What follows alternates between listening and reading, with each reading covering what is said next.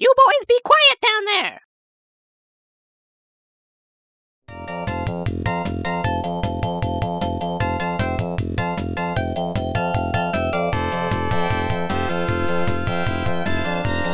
Today on Neo Geo Generation, we'll be once again looking at a completely unreleased Neo Geo game that never made it into the hands of players. NGH number 035, Mystic Wand, 1991 from ADK.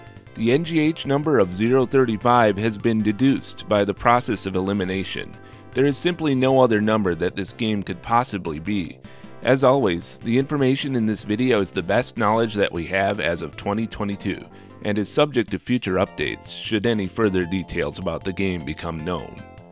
Unlike Dunkstar and most of the other unreleased games that we've covered in this series, there is no evidence that the ROM for Mystic Wand has been dumped or that the game data has been preserved.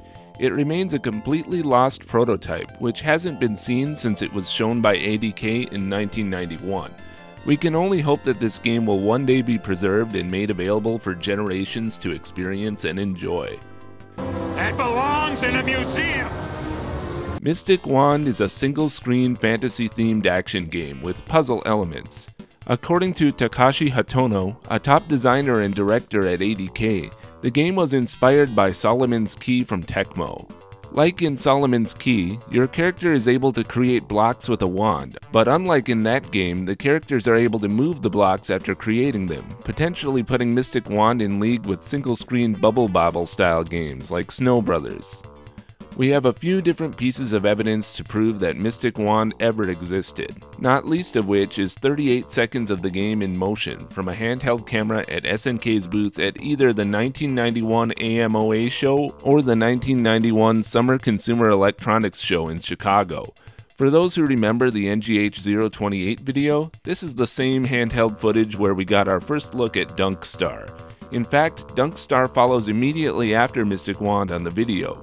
22 seconds into the footage, the cameraman actually moves away from the screen for 7 seconds to show some Alpha Mission 2 footage running on another screen. If only he had known he was shooting the only known footage of the game at the time, he may not have turned away, but of course, we are thankful someone shot this footage at all. In addition to the footage, we have a 1990-1991 press release kit from SNK that lists Mystic Wand and Dunkstar we have an August 1991 article from the French publication Joystick Magazine. This one calls the game Mystic Man under the screenshot, and then uses the correct title in the article.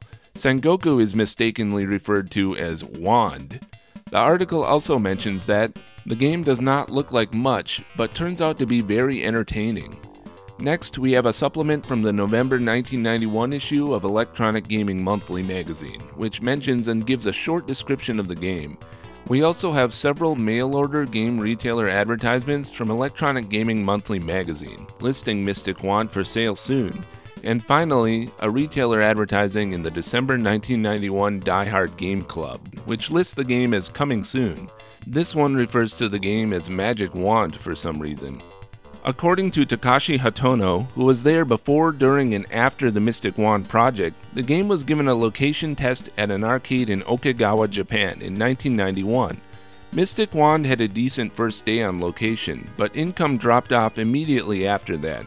Therefore, the game failed its location test, and this is the reason why ADK chose to cancel the game. The head of the project, Gen Suzuki, was fired by Kenji Sawatari. You're fired. Supposedly, Suzuki literally stormed out of the office and took the Mystic Wand development board with him, never to return or be seen again. According to the blurb from EGM, Mystic Wand is a multi level action game. You control two fairies called Sprites who journey to the Tower of Satan while traveling through different lands using block formation powers. Your goal is to destroy Satan, two players simultaneous. We also have further details on the gameplay from Takashi Hatono. Press the A button to create a jewel block. Press B to jump. Press the A button again next to a block to change its color.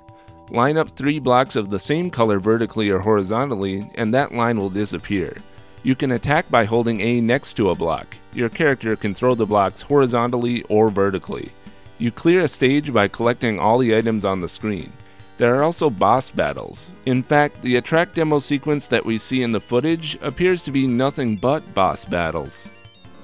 The graphics don't appear to have more frames of animation than a typical 16-bit game at the time, but the sprites are pretty detailed. Your characters are able to move around the screen doing this flipping move. The small characters kind of look similar to the ones in Solomon's Key, the decently sized bosses and impressive multi-scrolling backgrounds make the game's unreleased status all the more tragic. The video unfortunately doesn't include the game audio, so we don't know what Mystic Wand sounded like. However, here's an anecdote courtesy of the game lord Chad Okada. Most Neo Geo fans are familiar with the bonus voice in Blazing Star, which repeats constantly.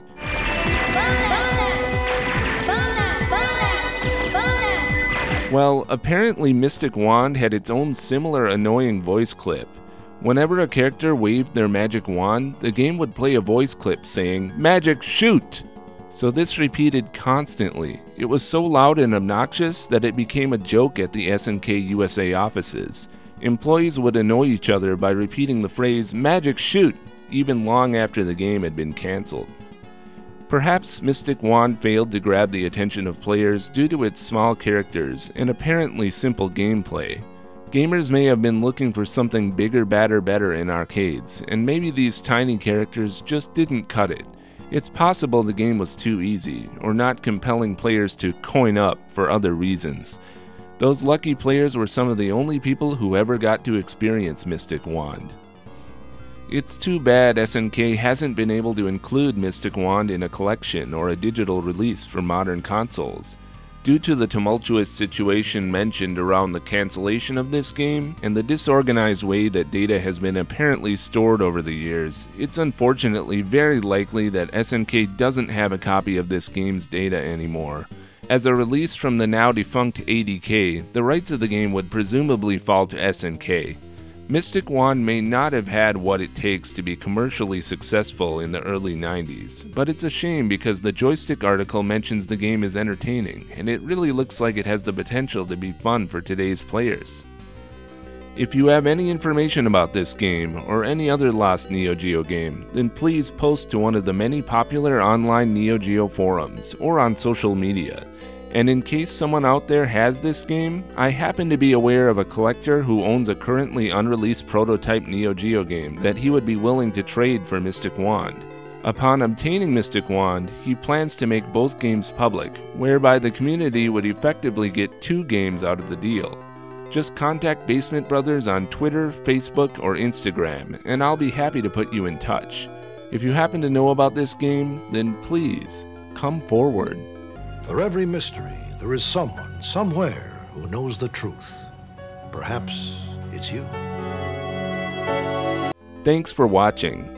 Next time on Neo Geo Generation, we'll be looking at NGH 036, Baka Tono-sama Mahjong Manyuki. It's a Mahjong game, so no doubt the viewership will be double that of my usual videos, since it'll be a chance to learn all about a game that most viewers have probably never played through before. The game will get more or less the same treatment as NGH 027, Minasan no Okage-sama desu. So if you haven't already watched that video, please go check it out and you'll know exactly what you're in for. Don't forget to like, comment, and subscribe, and I'll see you next time. This is Neo Alec, signing off.